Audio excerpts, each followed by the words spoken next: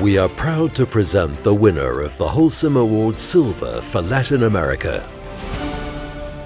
The prize goes to Roman Jesus Cordero Tovar of Plug Architecture in Merida for the project Arboreal Platform, Low Impact Timber Rainforest Center in Costa Rica.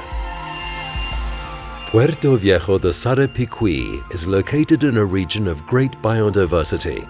It is a place well visited by eco-tourists and birdwatchers alike. The design for the headquarters of the Fundación para el Desarrollo de la Cordillera Volcánica Central is appropriately located in the midst of a forest the Knowledge Centre will inform its visitors about the management of woodlands and the benefits to develop an economy dependent on forestry services while promoting environmental conservation. The project is organised on an elevated podium that hovers above the ground and is surrounded by trees. The entire structure is made of wood and covered by a roof using panels made of recycled aluminium milk packages.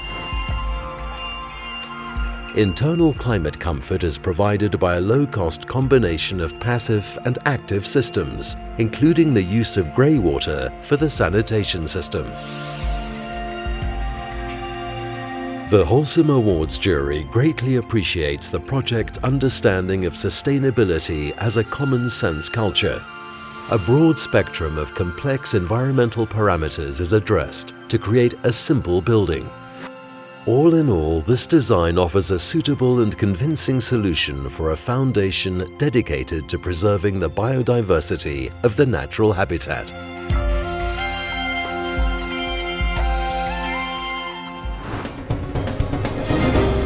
The Holcim Foundation congratulates everyone involved in this project and honours this exceptional entry with the Holcim Award Silver 2014 for Latin America.